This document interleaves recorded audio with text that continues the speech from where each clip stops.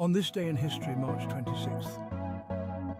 1898, South Africa's Sabi Game Reserve became the world's first official sanctuary for wildlife, evolving into the Kruger National Park by 1926. 1937. William H. Hastie became the first African-American United States federal judge, appointed to the District Court of the Virgin Islands.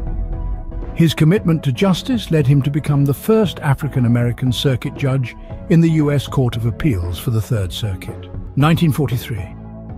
Elsie S. Ott is the first woman awarded the U.S. Air Force Medal for her groundbreaking work in air evacuation during World War II. Ott's mission to transport seriously ill patients from India to Washington, D.C. showcased the effectiveness of air evacuation, setting a new standard for aeromedical evacuations.